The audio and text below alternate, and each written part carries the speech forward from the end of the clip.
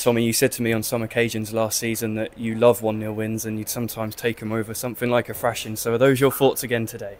Well, I think you've got to be able to win games both ways. You know, we obviously like to play the way we want to play, but you've always got 11 blokes against you who want to have a say in that. And I thought, having got myself in, in the lead with one of the very few real bits of quality, the move and the finish.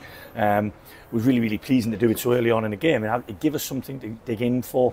We knew we were going to have periods where we were on our back foot because they're a very front-footed side themselves. Chris, Chris is a good, good coach, good manager, and his teams are always very well set up and difficult to break down. Last year, both games was only one goal in the both games um, in terms of the difference in the teams. So, yeah, like I'm really pleased because I don't, I don't think we had the mettle um, or the tenacity to have seen that out last season. I think we assessed what we needed to improve on, and I think it was definitely, you know, we've got to protect the goalkeeper a bit more. Uh, and I thought them three lads at the back were like, being where we are in the world, like pit props, they were they were superb, and um, they were ably assisted by the lads in the wide areas and the two guys in the engine room.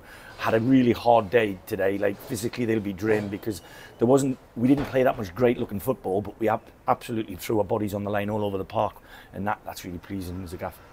Ollie Harfield was missing from the lineup. You say about the back three there. Obviously, he didn't miss a single minute last season, so that is something that you know is not very common for us. So it's great to see the depth yeah. that can come in and still keep a clean sheet without him. Well, I'm delighted for Lack. He's been patient. He's done he done nothing wrong in pre-season. I was very close to starting him in the first game of the season because he, he played as many minutes as most, and, and you know I think he's ready for the level.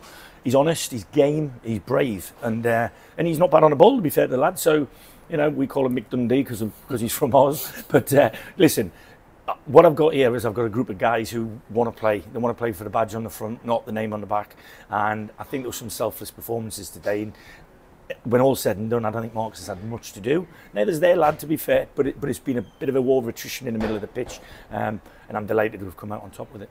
We saw Hadi scoring twice last last week after you know not getting any goals in pre-season. Josh has obviously come so close in so many of those pre-season games to scoring. Yeah. Finally did it today. That must be great for him, and hopefully he can really hit the ground running now. Yeah, I mean when when games are a little bit attritional like that, you want that little bit of quality that to fall to him.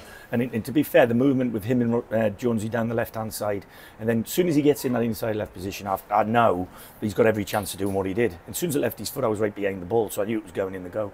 But you know, I'm, I'm pleased for Josh. He takes on do stick at times uh, from us as well as other people. Um, but they're the games that you, you do need. You, you know, you do need that rogue, but if you like, who's got that little bit of extra quality. And today's he can look back and, and say he did his job.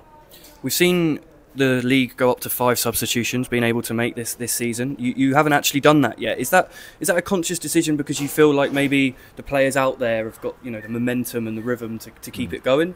Well, both games so far have been really tight going into sort of the 80th minute. You know, three three last week um, and one 0 this week. It's very hard to go onto the pitch at that stage because the game's in full flow. Um, and I mean, I'm usually around the 60, 65s when we first ones because I think people like Kai and Josh put a lot of energy into their game, and today it wasn't a lot of reward for their energy. So them sort of lads need replacing.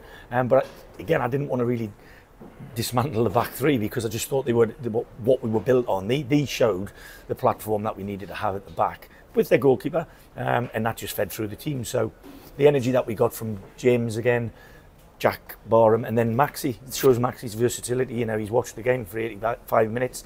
He's gone and run his legs off for the last five to help you know, for the cause. But talking about Ollie Harfield, you know, he didn't pull out till this morning. Something had happened to his back. We think a seven-hour journey on a coach wouldn't have helped. Um, mm.